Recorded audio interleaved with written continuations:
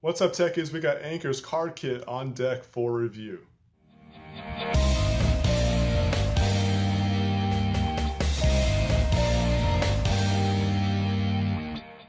Hey guys, so we got the Anchor card kit here. This is a pretty cool one. I like the casing first of all. It's really cool looking. Logo looks good, the color combination, but the material is pretty nice too. It almost feels like just about like a Kevlar kind of feel, but it's just like a really hard woven kind of plastic kind of texture of fabric. But anyways, let's go ahead and get into the case and see what all it comes with and how this could actually be something you could use in your car. So what's pretty neat about this right off the bat is like you get a car charger to charge this. You also get a USB cable right there. You got these straps to hold everything in place. It's a really cool kit. So let's go ahead and take this one out. And this is like a multi-purpose battery charger. You can use it just as like a normal power bank or you can actually jump start your car. It's also got this flashlight on it, but we'll get into all those little details just a second. Let's go ahead and take a look inside and see what else it comes with. We have a wall charger for the battery.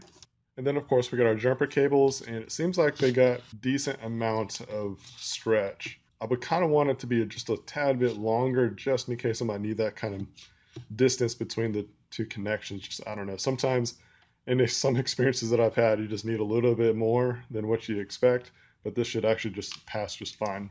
I'll actually take it out to my truck and just kind of let you see a little glimpse of what it looks like if you need to jump start it.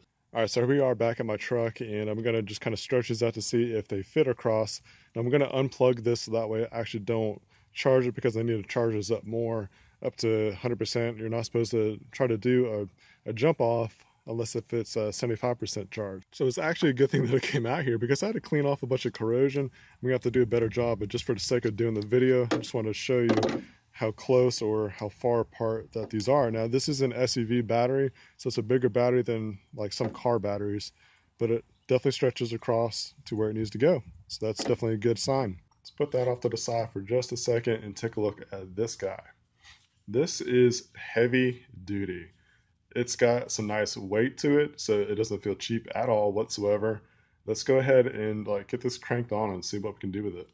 All right, so it's coming with two bars of juice so far. You get four different indicators. All right, so this button is like a little lamp. You can kind of see that. So it seems like you got some different modes here. Like I'm pressing it. It's like three different settings. You got really bright, mid bright, lower bright, and off. Okay, if you hold down this one, it turns on the main flashlight. So you have a, a good flashlight there. So that's pretty cool. It also turns it into a strobe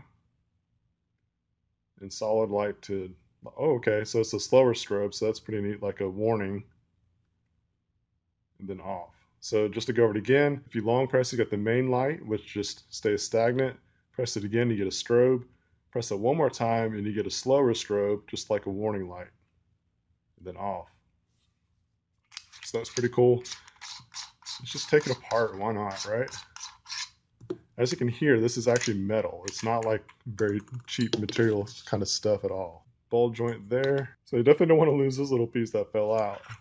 And it goes right there. Don't want to lose that. Let's put this back together. Might not be a good idea to change it out unless I guess you absolutely have to if you got to change it to light bulb or something. But what I liked about it though, you could hear all that metal wonder what that's for.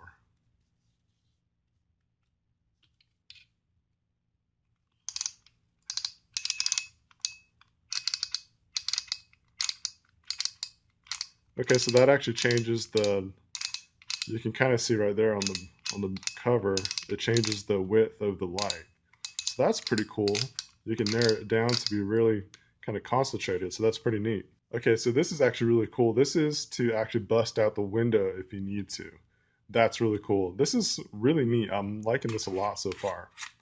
Let's take this back off, see what it has, which is going to have the main connections. So we got an IQ charging port right here. You got your input, which is where how you're going to charge it with your wall or your car cable.